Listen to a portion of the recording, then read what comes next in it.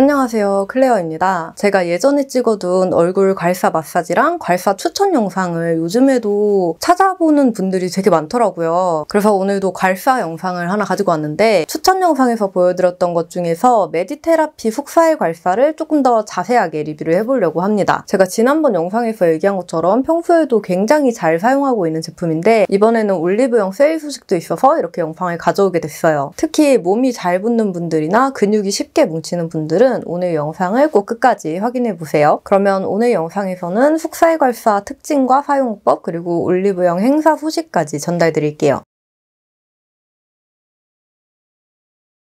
우선 오늘 소개할 제품은 메디테라피 속살괄사이고요. 지난번에도 얘기했지만 보시면 사이즈가 꽤 크고 되게 묵직한 편이에요. 압이 강한 편이라서 좀 더 힘들이지 않고 마사지를 할 수 있고 요즘에는 보통 얼굴 전용 작은 괄사가 많던데 메디테라피 속살괄사는 머리부터 발끝까지 전신에 다 쓸 수 있는 제품이에요. 제가 직접 어떻게 사용하는지를 보여드릴게요. 가장 자주 사용하는 건 이제 두피 마사지랑 배 마사지 그리고 어깨랑 겨드랑이 마사지 정도가 될 것 같아요. 저는 어깨 마사지인데요. 제 승모근을 만져보는 사람들마다 정말 이거 돌이냐고 할 정도로 굉장히 딱딱해요. 지금은 좀 담 걸려서 더 올라와 있긴 한데 되게 많이 올라와 있잖아요. 그리고 제가 거북목도 있어가지고 맨날 이러고 있으니까 여기에도 더 올라오고 쉽게 피로해지거든요. 그럴 때에도 이 속살괄사를 정말 잘 사용하는데 일단 이 S포인트로 어깨를 이렇게 쓸어가지고 마사지를 한 다음에 유난히 이렇게 탁 걸리는 부분 부분이나 좀 더 시원한 부분이 있어요. 그러면 그 부분을 이 C포인트로 해가지고 이렇게 꾹 눌러줍니다. 그리고 이렇게 잡은 상태로 이 C포인트 부분으로 어깨를 이렇게 두드려주면 어깨가 좀 더 쉽게 말랑말랑해지는 걸 확인할 수가 있어요. 이렇게 두드리면 힘 많이 들이지 않아도 손으로 두드리는 것보다 훨씬 더 강하고 묵직한 느낌이 들거든요. 그래서 손으로 두드리는 거는 이제 별로 느낌이 없다. 이런 분들은 이렇게 두드려서 어깨를 마사지 하는 것도 추천합니다. 저는 여기 지금 담이 걸려가지고 이렇게 올라와 있거든요. 그래서 오늘 하루 종일 계속 이렇게 두드리고 있었어요. 그리고 또 요즘 사람들은 저를 포함해서 컴퓨터나 스마트폰 이렇게 보느라 어깨가 이렇게 앞으로 말려있는 경우가 많잖아요. 그럴 때 이 S포인트로 이쪽 앞쪽 쇄골이랑 어깨를 마사지를 해주면 굉장히 시원해요. 이 앞부분도 근육이 되게 쉽게 뭉치기 때문에 이렇게 해서 풀어주면 엄청 시원합니다. 그리고 제가 림프절 순환이 잘 안 되는 편이어가지고 겨드랑이도 되게 쉽게 붙거든요. 그럴 때에는 이 물결 부분으로 겨드랑이를 살살 쓸어줍니다. 근데 이 겨드랑이에 사용해야 할 때는 주의해야 할 점이 여기가 되게 민감한 림프절이기 때문에 힘을 주지 않고 사용을 해야 되고요. 마찰이 심하면 이 얇은 피부에 자극이 될 수도 있어서 웬만하면 반팔 같은 거 입고 그 옷 위로 쓸어주는 게 저는 좀 더 좋더라고요. 아침에 일어났는데 잠이 너무 안 깰 때나 머리가 좀 땡길 때 그리고 얼굴이 좀 많이 부었을 때 꺼내서 물결 포인트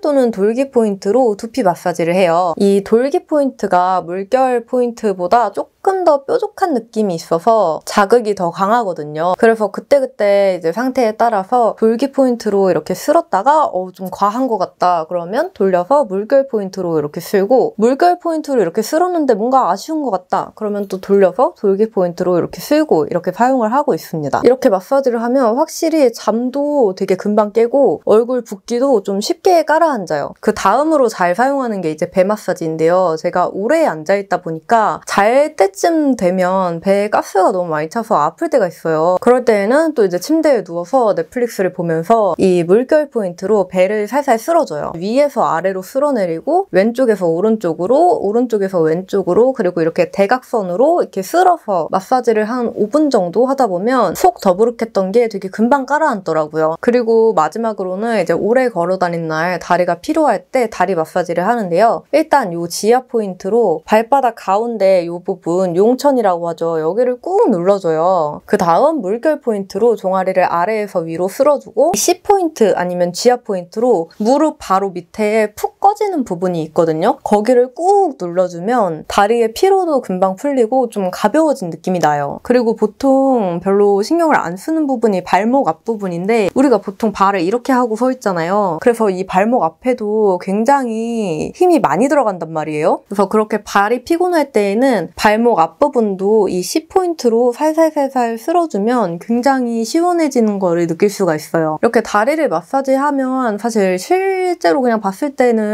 크게 차이가 안 나는 것 같은데 손으로 만져보면 마사지를 안 한 쪽은 약간 땡땡하고 마사지를 한 쪽은 좀 더 확실히 말랑말랑해져 있어요. 그 외에는 이제 아까 얘기한 거나 홈페이지에 있는 것처럼 이렇게 팔뚝 안쪽이나 허리 라인을 이렇게 마사지를 해서 군살을 좀 정돈하는 듯한 효과도 있을 수 있는데 저는 사실 여기를 마사지 해야겠다는 생각은 잘 안 해가지고 보통은 이제 어깨나 두피 뭐 이렇게 근육이 뭉치고 실제로 몸이 좀 불편하고 뻐근하다고 느껴지는 부분에 더 잘 사용을 하게 되더라고요. 그래서 이 메디테라피 훅살 갈사는 올리브영 후기도 정말 좋고 유명하기도 하고 활용도도 높고 이게 집에 하나 있으면 집에서 그냥 전신을 다 풀 수가 있기 때문에 전신용 괄사로 정말 추천하는 제품이에요. 이게 할인을 잘 안 하는데 올영 세일 때만 세일을 한다고 하더라고요. 솔직히 말하자면 사실 저는 메디테라피 내구성이나 활용도 이런 거 생각하면 정가도 전혀 비싸지 않다고 생각을 하는데 어쨌든 세일 때 구매하면 조금 더 저렴하게 구매를 할 수 있으니까 평소에 궁금했던 분들이나 특히 이렇게 강력한 압으로 마사지 하는 걸 좋아하는 분들은 올리브영 세일 때 꼭 이 메디테라피 속살괄사를 한번 확인을 해보세요.